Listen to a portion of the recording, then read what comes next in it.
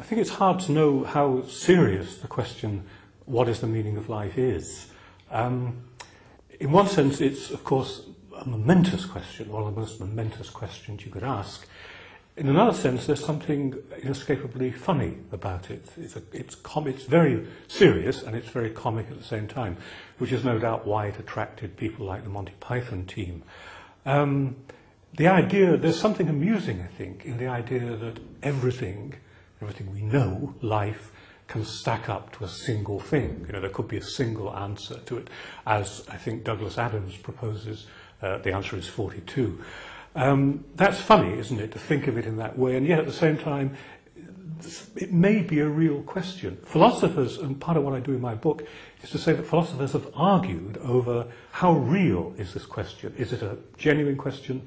Looks like, sounds like a genuine question, or is it a fake question? For example, is there a single thing called life which could have a meaning? Huh? Or, or, is that just, just a mistake? Um, if there is a single thing called life, um, in what sense could it have a meaning? I mean, do things have meanings in the way they have shapes or colors or textures?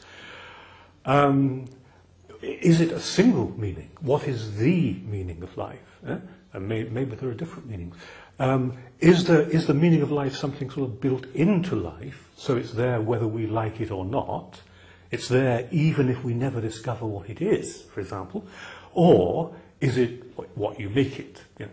Well, all of these questions are discussed in the book, um, and, but rather than just copying out and analysing the question, which of course is what philosophers always do to avoid giving answers, I do review various possible answers.